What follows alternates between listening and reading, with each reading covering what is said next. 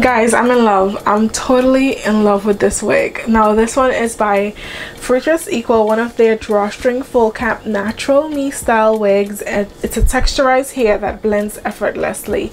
So the texture is more like the Nisha Soft natural texture. So it's supposed to blend perfectly with your natural hair. For example, if I were to take my hair out and put it over this, it will blend pretty good once I flat iron my hair out, meaning the textures would blend really nicely.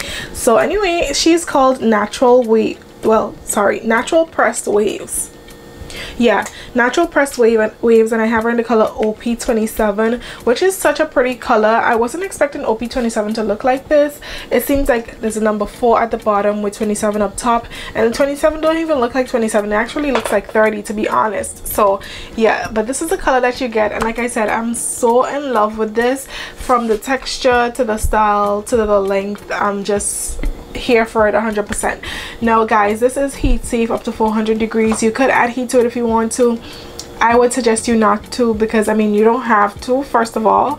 And even if you do it will change the texture of the hair so just be careful with that.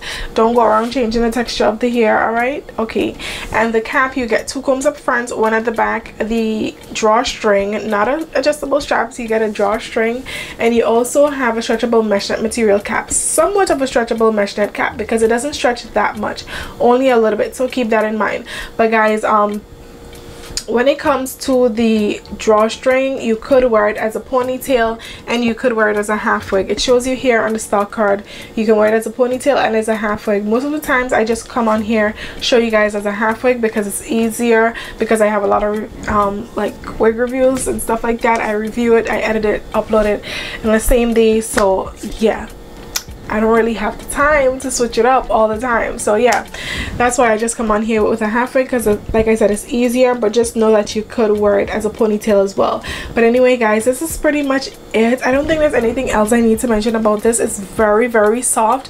I only got a tiny bit of shedding and it wasn't even that crazy like it wasn't excessive at all.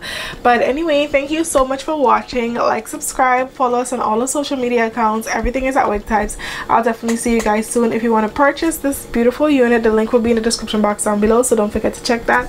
And i'll see you guys soon. Bye